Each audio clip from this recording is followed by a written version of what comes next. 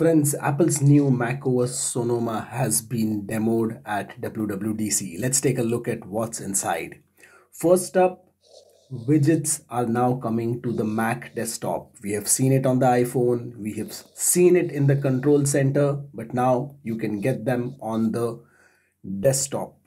That's great. A new game and some new gaming APIs were shown. Death Stranding was this game which was demoed, looks cool one very interesting feature is camera and effects which you can use during your video calls.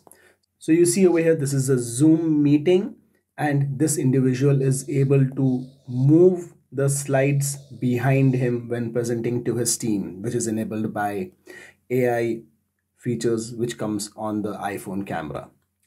If you go ahead and see, if you just do double thumbs up, you will see this celebration popping up behind you. That's again a camera effect. So several upgrades to camera. If you're doing video calls using zoom or google meet or teams you will have these effects and features for you. Safari is getting password sharing. So if you are using keychain with an apple to store your passwords now you can share passwords with friends and family. That's pretty cool. Safari is also getting profiles. This my friends is huge. We have had profiles on Chrome, Brave, the whole Chrome engine for a while, but getting it now on Safari was a big request. Finally, it's happening.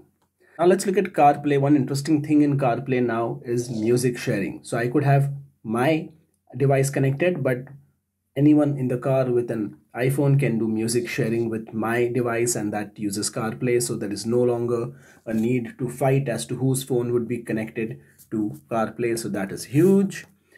What I really love about the TV OS update from Apple is that, hey, you can do a FaceTime call on a TV and you can just place your iPhone uh, around the TV and you can use the continuity camera feature. And if you have an Apple TV, you can just use Face ID on TV. This is huge. I wish it was here during COVID. So several new home and audio features over here. The share play in car, that's interesting one. A lot of audio updates to AirPods as well. Maybe I'll make another video around that. So I thought you would want to know updates about this as well.